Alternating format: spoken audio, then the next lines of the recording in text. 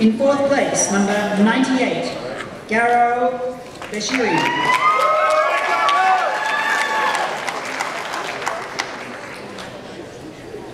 In third place, number 102, Max Nicholas Jr.